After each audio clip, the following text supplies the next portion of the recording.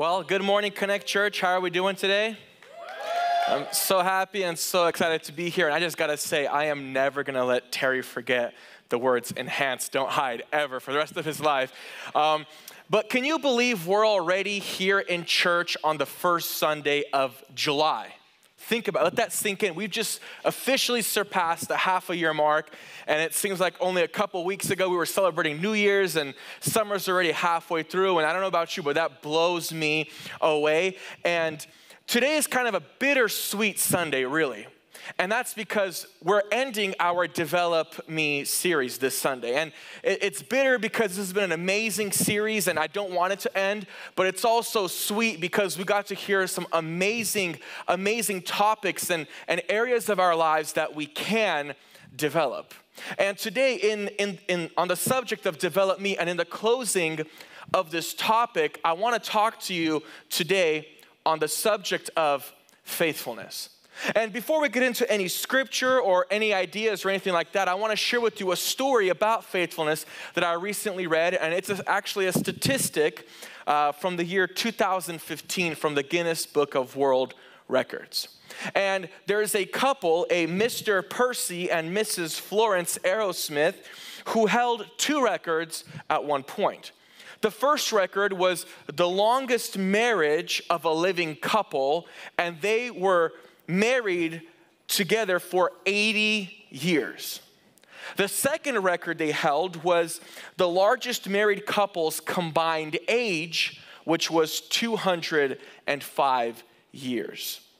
Now, see, both Mr. and Mrs. Arrowsmith have since died, but they left some awesome advice for us uh, on the secret to their faithfulness.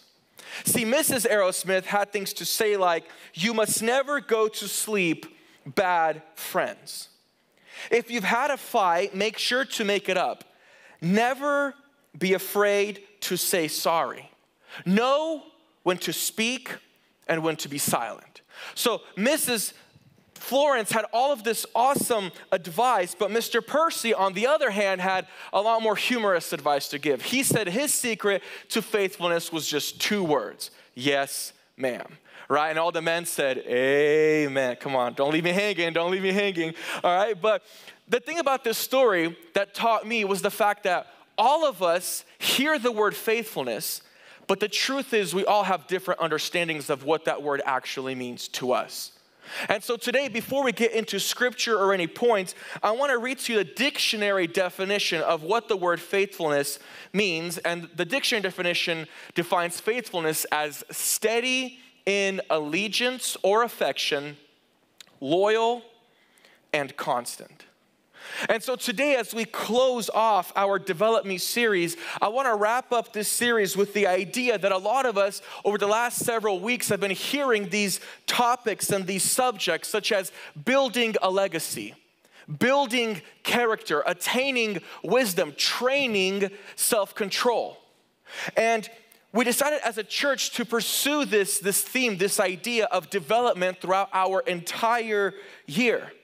Because we as a church want more.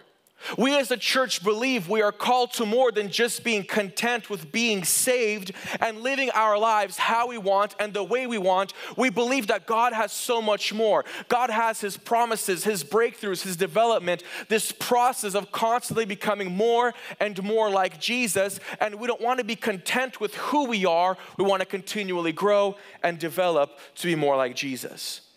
And what I would like to suggest to you this morning on the subject of faithfulness is faithfulness is the fuel that drives development.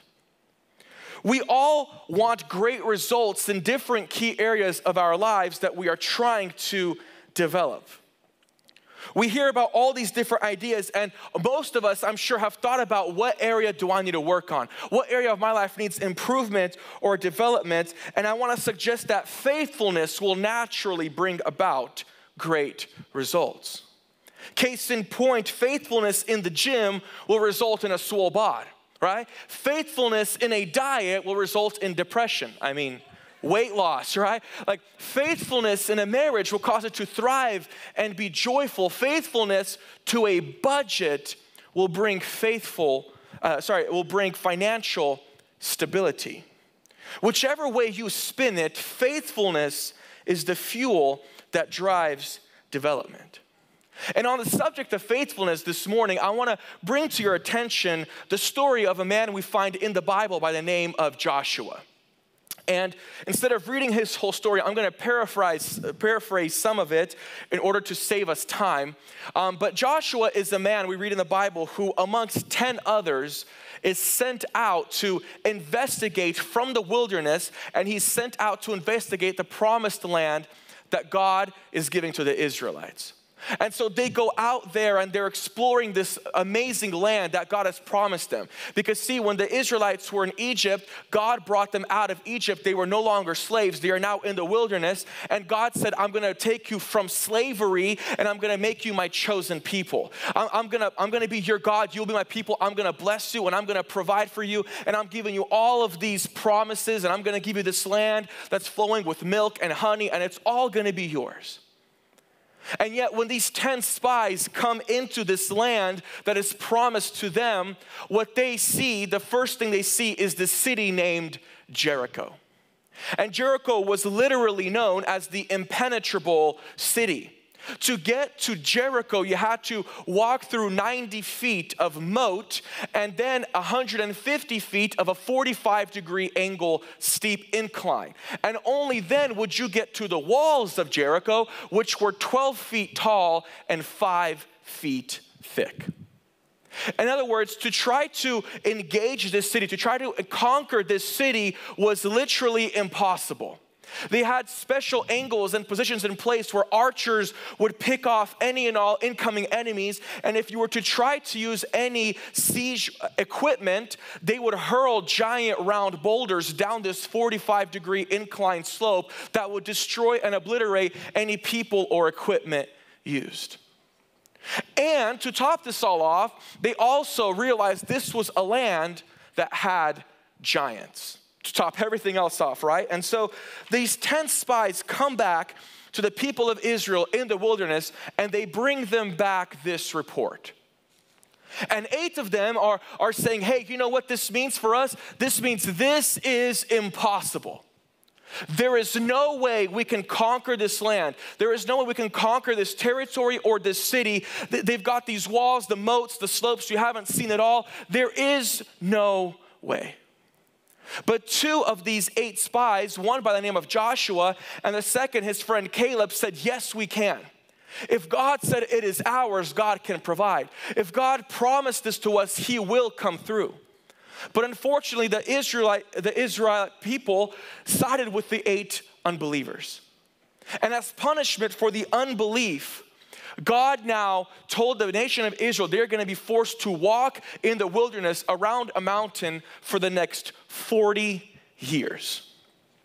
And 40 years go by, and they're walking around this mountain, and Moses dies, the leader of Israel, and Joshua assumes the role as the new leader. And after these 40 years, God again appears to Joshua and charges him to again get into the land that God has promised them all along. And when Joshua gets to this land, the first obstacle he encounters is again this city named Jericho. And when they get to Jericho, God gives Joshua this, this strategy. He says, Joshua, here's what I want you to do I want you to gather all the fighting men together, and you're gonna walk around the city one time a day for six days. And on the seventh day, you're gonna walk around the city seven times. And on the seventh lap of the seventh day, when you've completed the steps, you're gonna blow ram's horns. And when you hear the horns, I want all the people to shout with a great shout and just make that happen. That's the strategy that God gives Joshua. And I can totally see Joshua's face kind of going like, Really, God? Like a couple of AKs, a rocket launcher, a tank? Like, come on, let's make this happen quick. This is your promise. But God says, no, no, I want you to take these steps. I want you to walk around the city one time a day for six days, seven times on the seventh day, and I want you to do it silently. And the people of God do this, the, the Israelites do this, and here's where I want us to pick it up. In Joshua chapter 6, verse 20, once they complete the walk, when the people heard the sound of the ram's horns, they shouted as loud as they could. suddenly the walls of Jericho collapsed, and the Israelites charged straight into the town and captured it. So, what happens is the Israelites give this loud shout, and it seems like everything that stood between them and their blessing. It seems like the barrier that was blocking them from the promise that God has for them, the barrier to their breakthrough just collapsed. It seems like the city was just handed to them and they've now entered their blessing from slavery to city, from bondage to breakthrough in what seems to be the matter of a short hike and a loud shout. And the reason why I'm using the story of Joshua on the subject of faithfulness is what I've come to find out is that everyone wants to shout, but not many want to faithfully step. Everyone wants to shout. Our world today loves to shout. We love to shout our opinions, shout praises in church, shout what we believe. We love to shout what we think. As a matter of fact, sometimes we believe if we just simply shout, God's gonna come through. Shout Jesus and the marriage is gonna be fixed. Shout Jesus and the kids are gonna behave like angels. Shout Jesus and I'll get a check in the mail. We sometimes have this picture that God is like a genie in a bottle, and if we just simply shout loud enough, He'll show up. But I think you'll notice there's a lot of believers today who are doing plenty of shouting, but the blessing isn't there. There's a lot of believers today who are doing plenty of shouting and crying out, but it seems like the breakthrough isn't coming. And the reason why I believe, which is what I want to suggest to you today, is the power isn't in the shout, the power is in the faithful step. See, and I'm not, just to be clear, I'm not belittling the power of the shout, but what I want to point out today is the shout comes after the faithful step. God didn't tell them shout, He said step faithfully, and after you stepped faithfully, you can shout. Let's read about this in Joshua chapter 1, verse 2 and 5. See, we just read Joshua chapter 6. We read about the shout, but look at what God tells Joshua in Joshua chapter 1 Moses, my servant, is dead. Therefore, the time has come for you to lead these people, the Israelites, across the Jordan River into the land I am giving them. I promise you what I promised Moses. Wherever you set foot, see, wherever you set foot, not whenever you shout, wherever you set foot, you will be on land I have given you. From the Negev wilderness in the south to the Lebanon mountains in the north, sorry, I went ahead too much, to the Euphrates River in the east, or the Mediterranean Sea in the west, including all the land of the Hittites. No one will be able to stand against you as long as you live. For I will be with you as I was with Moses. I will not fail you or abandon you. Essentially, what God was saying to Joshua is, I give you this promise that wherever you're willing to faithfully step, I will come through. Wherever you're willing to faithfully step, my promises will come to life. Not whenever you shout, not how often and how loud you shout, whenever you step. And I'm sure that a lot of us in this room, if we look at our lives and look at the past and we look at the breakthroughs and the promises and the work of God we've seen so far, I think we can all agree that didn't come about because we shouted. That came about because we took the faithful steps the Holy Spirit was leading us in, and God took us to places we never thought were possible. Because it's in the faithful step, not in the shout. See, Joshua, he learned how to step in the wilderness. As a matter of fact, the Bible says for 40 years, all Joshua did was step faithfully. See, the Bible says that the Israelites went out of Egypt into the wilderness. They stepped out of bondage, but they did not step into the breakthrough and the promise that God had for them. And I think this idea, this image, is the entire purpose of the Develop Me series. So many Christians today have stepped out of slavery, but they're stuck in the wilderness. So many people are thankful and celebrating for being brought out of Egypt, not realizing that God is not done. He's got abundantly more than you could ever imagine or dream of. He's got the breakthrough, He's got the promise, but we're just content remaining in the wilderness. It's sad that sometimes we believe God is faithful enough to bring us out of Egypt but we're doubting his faithfulness when it comes to delivering us to the breakthroughs and the promise that he has for us. But see, Joshua saw what God said he could have. Joshua saw the miracle that God wanted to give him. That's why when, when Joshua came back with Caleb, he, they were the only two people who said, Let's do this. God is faithful, God will provide, God will bring us through. And when this failed, I think it's so amazing that the Bible says Joshua still stepped faithfully for 40 years. For 40 years, when there was no trophy, there was no Jericho, there was just desert and wilderness and a mountain, but Joshua still stepped faithfully. And what's crazy is the wilderness was so close to the city and the land that they were promised. And every couple of months or weeks or however long it took them, they would circle around and get close to this land, but God would circle them back around again. And I can only imagine God asking Joshua, Joshua, are you still faithful to me? Joshua, do you still believe I can make this happen? Joshua, can I still order your steps? Will you step where I direct you, even if you do see the trophy? See, this wasn't just a seven day experience. This was something that Joshua had patterned in his whole life. So that by the time it did come to shout, it wasn't just a seven day hike, it was 40 years plus seven days of faithful stepping. And I can only imagine the kind of shout that he gave when he was able to. And so the question I want to ask each one of us today, this morning, is how do we step?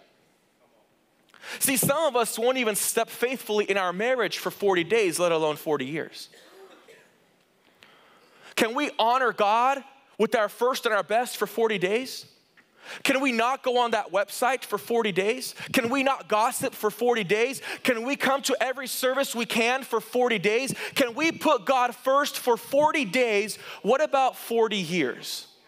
Can we step faithfully? See, we like to say things like, God, I want to be used by you in a mighty way. And God's saying, That's great. That's in your future. But right now, could you build somebody else's dream? Right now, could you learn how to lead by following? Could you build someone else's dream without invoking your own and step faithfully where I'm leading you before I take you to your breakthrough and to your promise? See, we love to shout, but I want to ask you, how do we step? We say things like, God, I, I, want, I want financial breakthrough in my life, but God's asking, could you give with a cheerful heart? God, I want to grow in my calling, but could you serve faithfully and make serving a priority? But see, we don't like to talk about this stuff because we live in a society that's the microwave generation. We just want to push a button that says popcorn. We don't even want to, want to punch in the 215. We want to push popcorn and hear the microwave go bing.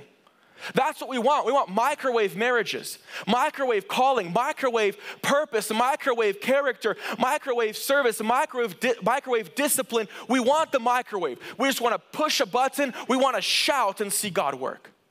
But again, the question this morning is how do we step? See, we don't want to step it out faithfully, we just want the microwave to go bing. But here's an interesting th- thought I want to share with you this morning. The Bible says that God gave this promised land to the Israelites. What that means is God was not holding back. And what I want each of us to know in this room is that God has a purpose, God has a destiny, God has a calling. He's got a legacy, He's got a great job, He's got the house, He's got the spouse, He's got all these things for us. He is not withholding anything from you or me, just like He wasn't from the Israelites. But what we have to realize is our faithfulness in the natural is what activates God's faithfulness in the supernatural. As a matter of fact, God says, I've got exceedingly and abundantly more for you. He's like Oprah, you get more and you get more. Everybody gets more, but He's asking, what steps are you willing to take? I've got the breakthrough, I've got the promise, but I need to see you walk towards it. I need your faithful steps to dictate to me that you are ready. Because here's another thought if I can't trust you to walk around, how am I gonna bring you through? If I can't learn to walk around and step faithfully, how are we going to learn to walk in the calling, walk in the blessing, walk in the purpose that God has for us? What steps in your marriage do you need to take to see the barriers come down? Because some of you, you know the marriage you have, and you know where your marriage could be. What steps do you need to take to see that happen? What steps, what barriers are there between where you are and where you want to be?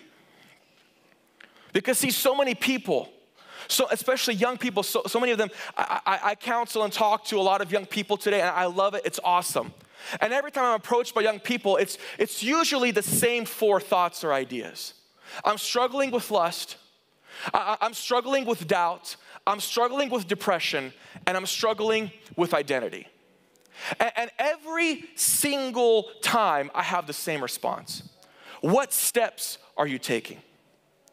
Uh, you know, you can complain about depression, but are you listening to depressing music? Yeah.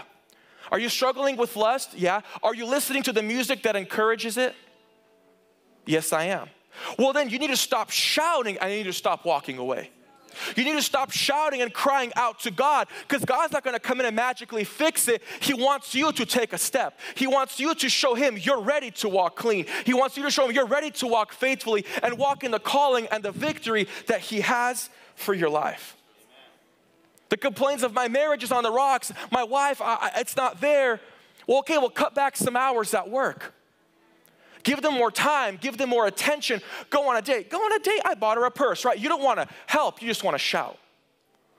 My finances aren't in order. Well, sell the gas guzzling SUV and get a Prius. Downgrade to a Prius. Come on. See, you don't want help, you just want to shout. What steps do we need to take? Steps that require commitment and faithfulness. Because, see, depending on which direction you step out in, it's gonna depend on where you go. What steps do you need to take in your singleness? What steps in your joy? What steps for your marriage? What steps for your finances? What steps for your spiritual maturity in Christ? See, something we need to learn is every single one of us in here has got things we've got to walk towards. But a lot of us in here also have things we've got to walk away from. And see, the thing is, if I'm walking towards something, that means naturally I'm leaving something else behind. If I'm walking towards better relationships, I'm leaving the toxic ones. If I'm walking towards joy and towards a full life, I'm leaving the depressing music and the negative friends and the negative influences, and I'm surrounding myself with people who are gonna love me and speak life into me. We can shout, but again, the question is what steps are you taking? What direction are you moving in? And this morning, I believe that a lot of us in this room are frustrated because, because we've cried good tears. We, we've prayed loud prayers. We've said things like, God, you said I'm the head and not the tail. God, you said I could have this breakthrough. God said, you said your promises are gonna come to life in my life. But the wall isn't coming down. The barriers have been there for a year, five, ten years, and nothing's moving, nothing's changing. I'm shouting all I can, but nothing is happening. And again, the question is what steps are you taking? See, the reason why most people don't take steps, the reason why most people don't move from where they are, is the fact that faithful steps takes courage and strength. The real reason why most of us never experience breakthrough is because we're stuck in this idea or this area of safety. But I want to give you this analogy. You know, next week we're going to have baby dedication, so I thought about babies in preparation for this message. And, you know, there are some babies who, when you let them go and they're learning how to walk, some babies just take off, right? Like they've got no concept of it's gonna hurt. They'll run off a tabletop, off a chair. They don't care, right? They're the ones that bust their heads but keep on running like nothing happened, right? They just have no concept of danger or fear. They just run. But other babies, you you let them go, but they're not willing. Or, or you let them go and they just do the fall, right? And they're like, I'm not having this, hold me, right? You know those babies? Well, I feel like so many times God is looking at us and saying, Come on, son, come on, daughter, just take a step. Just take a step. I have the breakthrough. I have the promise. I have everything more than you could ever imagine or dream of. It's all in your future. But so many times we're stuck saying, no, you know what, God? It's safe right here. Right here is what I've always known. Right here is what I've, where I've always been. Right here, this is what I know. But every parent knows if I can get you walking, then I can take you to places you've never been to before. And so many times I feel like God is looking at us saying, Son, daughter, just take a step. Just take a step. I can take you places you've never been. And if I can teach you to walk, then I can teach you to run. And when you run, there is no valley, there is no mountain, there is no barrier that can stand in your way. Because as you're walking faithfully, I am with you, and you have to be you don't have to be afraid, you don't have to be discouraged because my faithfulness never fails when yours is activated. That's what God is telling us right now. Just take the step. This is what God tells Joshua. You know, in, in Joshua chapter 1, verses 6, right after God tells Joshua, wherever you step, I'm gonna give you the land, God also says, be strong and courageous. For you will be the one to lead these people to possess the land I swore their ancestors I would give them. Be strong and very courageous. Be careful to obey all the instructions Moses gave you. Don't deviate from them, turning to the right or turning to the left. Then you'll be successful in everything you do. Study this book of instructions continually. Meditate on it day and night so you'll be sure to obey everything written in it. Only then will you prosper and succeed in all you do. This is my command be strong and courageous.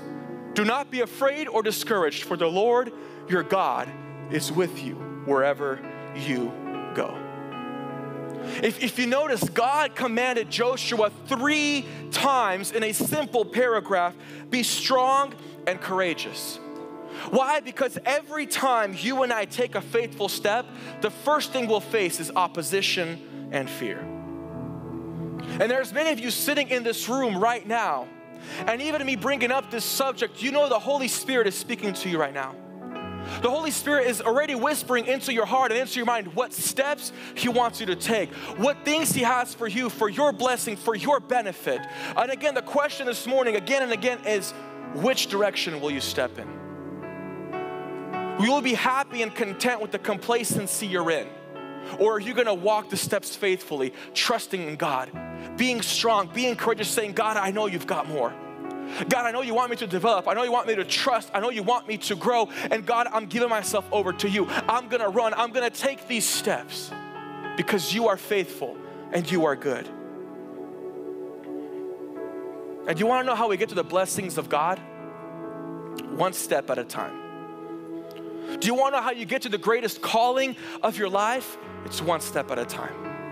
Do you want to know how to get your marriage from where it is now to the best that it could be? It's one step at a time. See, so many times we're just praying and waiting for it to happen, but God is saying, I'm waiting for you to take the step. And as you take the steps, I will grow you, I will mature you, I will develop you, and you yourself will make this happen. Just take the faithful step. One foot in front of the other. And again, the question for us this morning that I'll keep repeating is what steps do we need to take? What steps for, uh, what steps for our joy? What steps in our singleness? What steps for our marriage? What steps for our spiritual growth? What steps for our relationships? What steps do you and I need to take this morning? See, I don't know. I don't know what your steps are. You don't know what my steps are. But right now, the Holy Spirit is speaking to every single one of us in this room. And He is telling you right now, son, daughter, this is what I need you to do. Are you going to remain in the wilderness, content with just being free? Or are you going to stand and rise and fight for what I have for you and step faithfully and conquer and take what I have for your future? That's the question that each of us has to answer this morning. And right now, in closing, here's what I want us to do I want to invite us all to bow our heads and close our eyes. And just these last couple moments, I want to speak to you with heads bowed and eyes closed to each of you personally. And I want to repeat this idea again that there are some of us in here that we've got some steps we've got to walk towards. But some of us also have to walk away from some things. And again, I don't know what that is. I don't know what I don't know what your life holds. I don't know what whatever it may be. And some of you are maybe asking yourself this question is, can I really do this? Do I really have God's favor? If I really commit, will God provide? If I if, if I give, will God really show up? If I bring the secret sin or the secret addiction to light, will God really allow me to have freedom? And what I want to tell you this morning is the greatest, most confident yes that I can give you. Because the last words that God told Joshua was, Don't be afraid or discouraged, for the Lord your God is with you wherever you go. So, whatever the steps, whatever the decisions that you're making right now, just know God is with you. Just go. If you want to walk into sobriety, God's with you. Go. If you want to walk out of an addiction, God's with you, just go. If you want to walk towards a greater marriage, God's with you, just go. Take the steps. The battle isn't yours, it's God's, but the steps are yours to take. Because see, the truth is, not everything is up to God. Not everything is up to God. God doesn't force you to serve. God doesn't force you to give. He doesn't force you to love. He doesn't force you to pray. He doesn't force you to read. He leaves some steps to you. But what He is promising you is as you take those steps, I will be with you.